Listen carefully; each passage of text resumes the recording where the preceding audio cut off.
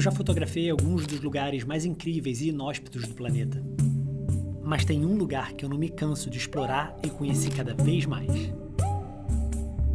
A cidade onde eu nasci e cresci. O Rio de Janeiro.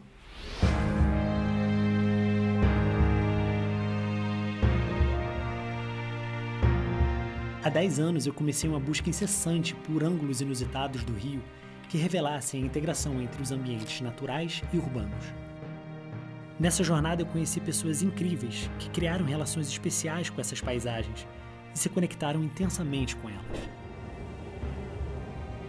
Ter toda essa vista com seus pés assim voando, aproveitando o ambiente. O homem bem-sucedido é o homem que acorda e dorme e faz o que ama entre essas duas coisas. Inspira confiança, devolve para o universo. É um treino onde a gente ensina o cérebro a deixar o coração entrar o tempo inteiro. Trabalhar numa montanha, eu sendo montanhista, né? Escalei mais de 3.500 vezes o Pão de Açúcar. Todo mundo deveria ter um pouco de natureza de vez em quando. O silêncio faz bem, né? E foi exatamente em busca de um rio de olhares únicos que eu resolvi partir nessa nova missão.